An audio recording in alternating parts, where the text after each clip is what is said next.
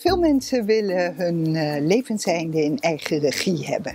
En op dit moment is dat alleen maar mogelijk door uh, op illegale wijze medicijnen te uh, importeren of de dokter te bedriegen.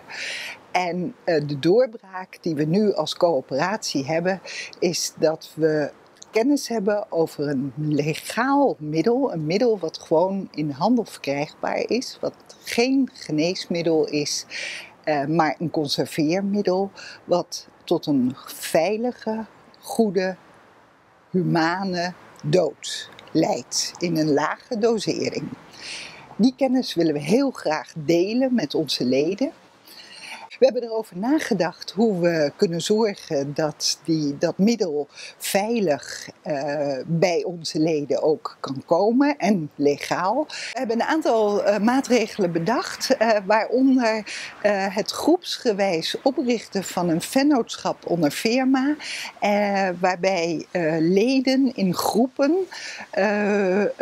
onderling de aanschaf en distributie verzorgen. Eh, we hebben dat ook voorgelegd aan het OM. En op dit moment hebben we nog geen reactie. Maar wij denken dat dat dus een, een legale weg is om het middel in huis te krijgen. En dat is wat we van onze leden horen. Dat het feit dat ze de zekerheid hebben dat ze zelf over hun eigen levenseinde kunnen beschikken, geeft zoveel rust. En sommigen geeft het ook zoveel energie dat we dat heel graag organiseren voor de leden. We, hebben een aantal uh, maatregelen bedacht uh, waarmee we oneigenlijk gebruik kunnen voorkomen. Uh, we geven de leden die een middel willen verkrijgen om in eigen regie ook te bewaren, uh, geven we een uh, boxje met een biometrisch slot. Dat moeten ze aanschaffen. Het is een kluisje waarbij je met een uh, vingerafdruk, dus je, je fingerprint, het slot kunt openen. En dat is dus heel specifiek voor één persoon. Verder wordt er een kleurstof aan het middel toegevoegd, zodat je het niet stiekem in iemands water, koffie of wat dan ook kunt doen. En uh, uh, verder is het alleen voor onze leden. Uh, en die leden die een half jaar minimaal al lid zijn. Het middel is uh, toereikend, maar het is uh, verstandig om in ieder geval ook een antibraakmiddel gedurende 24 uur uh, te slikken.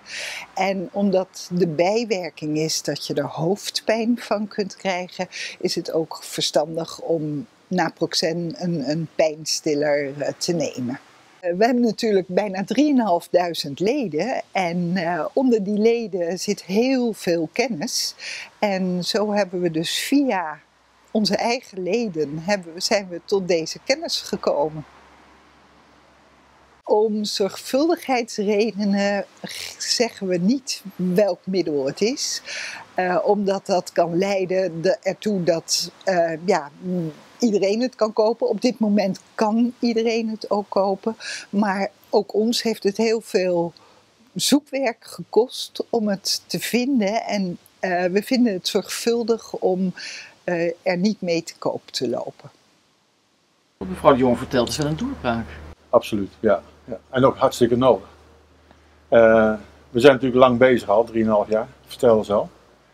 En wij merken natuurlijk ook dat die babyboomers die, worden, die komen nu in die categorie, leeftijdscategorie, dat ze zich beginnen te roeren. Zo van, hoe gaat mijn einde eruit zien?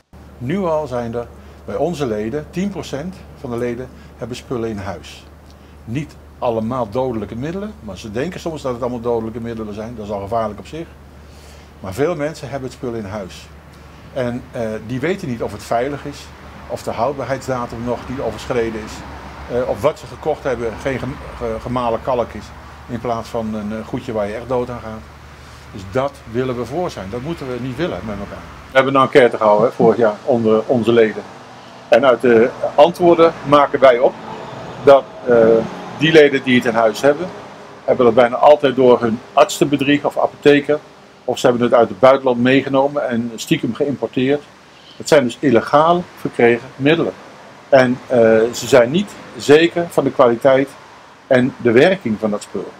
En sommige mensen eh, komen ook met vragen. En die hebben dan een zakje spullen bij zich op een vergadering van, zou ik hier dood aan kunnen gaan als ik dit allemaal tegelijk neem?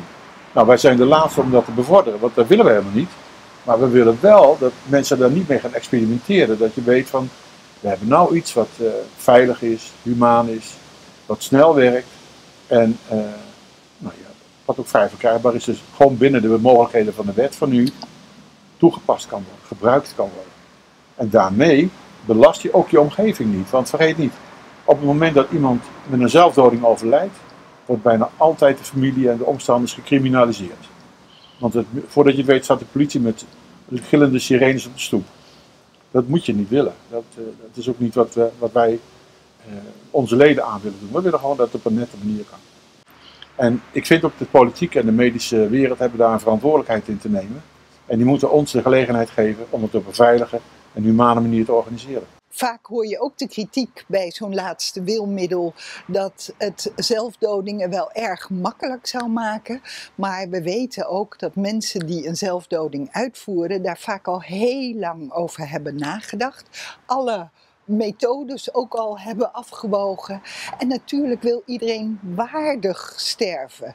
Dus het wordt echt niet makkelijker, want het levenseinde zelf regisseren, zelf doen, is, daar is echt heel veel moed voor nodig. Het wordt niet makkelijker, maar met dit middel wel waardiger. Ik kan me voorstellen dat het Openbaar Ministerie uh, straks heel nauwlettend in de gaten gaat houden. Ja, dat, uh, dat zou uh, heel goed kunnen. Maar als uh, het een, een vrij verkrijgbaar middel is, wat niet onder de geneesmiddelenwet valt, niet onder de opiatenwet valt, en ja, waar op een humane wijze een levenseinde mee bewerkstelligd kan worden, dan zie ik niet waar de wet overschreden wordt. Maar zou het denkbaar zijn dat het middel worden? Of dat het op een bepaald recept nog alleen maar te verkrijgen is? Uh, we verwachten niet dat het middel verboden wordt, want daarvoor wordt het in de in laboratoria, in, in andere industrie, wordt het te veel als normaal middel gebruikt. Dus uh, ja, we verwachten dat het gewoon in de handel zal blijven. Ook al is het een, een zelfdodingsmiddel, een middel waarmee je een goed levenseinde kunt bewerkstelligen. En een recept is niet aan de orde, want het is geen geneesmiddel. Nee. Wanneer gaat u de naam prijsgeven van het middel? Niet. Nee, zo lang mogelijk niet. En het is ook niet aan ons, vind ik, om daarover uh, over, uh, ja, naar buiten te komen. Uh, we willen een proef doen met een vijftigtal leden. En die willen we een vennootschap onder firma laten oprichten. En die vennootschap die gaat dus zelf alles doen wat nodig is om dat middel te krijgen, om het veilig te verstrekken uh, en om de mensen ook zich te laten verklaren dat ze niet onder druk van wie dan ook handelen. Dat vinden wij ook wel erg belangrijk hoor. Dus dat het niet is uh, vanwege uh, de omgeving dat ze bereid zijn om dat middel in huis te halen en zichzelf te doden. Ze moeten verklaren dat ze niet onder druk staan. Um, dan zal natuurlijk wel bekend raken hoe het middel heet dat is niet aan te ontkomen. Maar we zullen ze op het hart drukken om, het, om die naam zoveel mogelijk in eigen kring te houden en niet te verspreiden. Uh, want uh, dat is in, in, het belang van niemand om dat aan de grote klok te hangen. En, en dat willen we zoveel mogelijk toch in de tweede helft, tweede helft van dit jaar doen. Uh, om die mensen te bereiken die het in huis willen gaan hebben. Niet iedereen wil het ook in huis hebben, laten we dat ook goed begrijpen. We hebben ook leden die zeggen, nou, als het ergens centraal wordt opgeslagen, ja. Dan vinden we dat ook prima. Voor die groep die het niet zelf in huis wil hebben, kunnen we natuurlijk zorgen dat er ergens een veilige opslagmogelijkheid uh, is.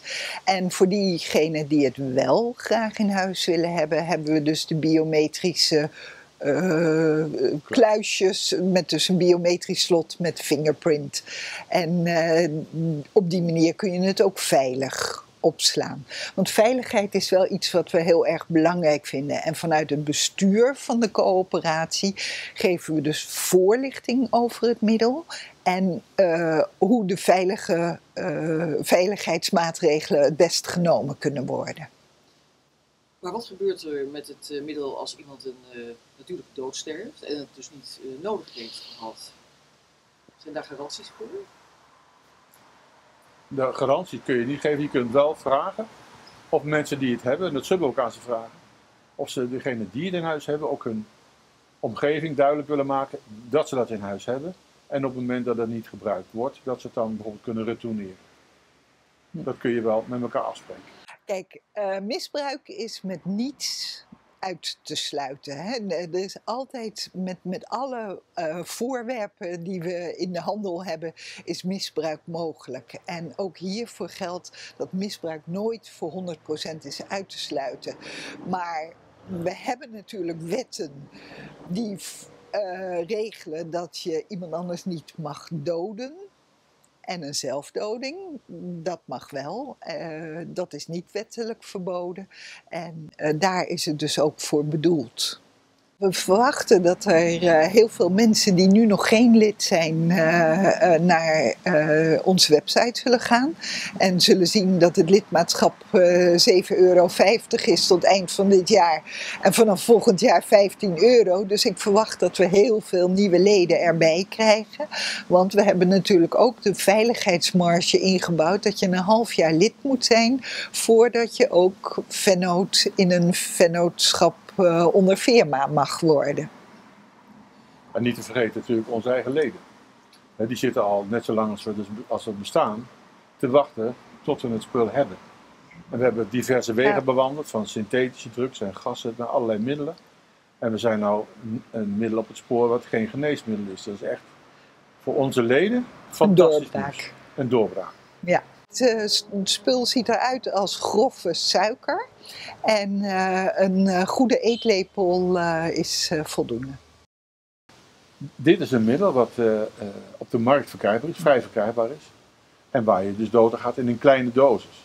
Maar je mag niet vergeten dat ook van suiker of zout of water, daar kan je dood gaan als je maar genoeg inneemt. Bij water, als je 6 tot 9 liter water in een uur zou drinken, ga je dood.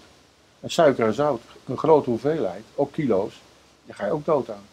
Dus het is niet zo'n kwestie van, uh, dit is een, een, materiaal wat uh, verzonnen is of zo. Ik bedoel, het is allemaal op de markt verkrijgbaar, alleen je hebt hier maar heel weinig van nodig. Dus in die zin gaat het niet over dat we het makkelijker zouden maken om dood te gaan. Nee, helemaal niet. Alleen je hebt er wat minder van nodig. We willen geen middel uh, propageren dat verschrikkelijke, verschrikkelijke pijnen veroorzaakt of rare bewegingen of die voor degenen die erbij zijn uh, niet ethisch zijn om bij te wonen, om erbij te zijn. Je wil graag dat je dierbare sterft op een rustige, mooie manier. Omgeven door de naasten. Ja. En dat mag ook.